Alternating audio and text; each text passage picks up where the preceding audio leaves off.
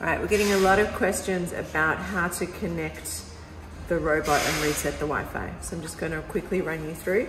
Ignore this because this is a previously set up machine, but I'm gonna add the plus, add a new robot.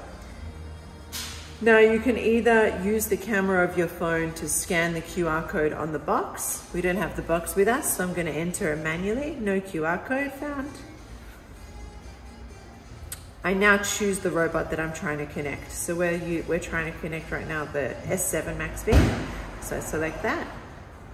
Then you connect the house Wi-Fi, enter your details, click next. Now we need to reset the Wi-Fi on the device. So bring your robot off the dock and you want to press the two outer buttons, not the middle one, the two outside. Press and hold until you hear this sound. Resetting Wi-Fi. Once you hear the words resetting Wi-Fi, you tick the box here that says Wi-Fi reset and say next. Now you want to connect this QR code with the camera on the robot. So I'm just going to hold the, the phone in front. Connecting to Wi-Fi. Stand by. Until I hear connecting to Wi-Fi standby.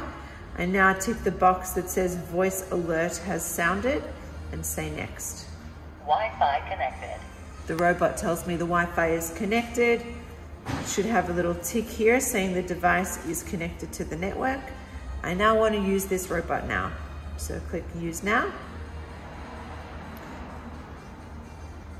Agree to the legal information, follow the prompts. It should reconnect to a map you've already created. Or if you haven't created a map, it will take you to the quick map and you can follow, follow the prompts and set up your robot. Good luck.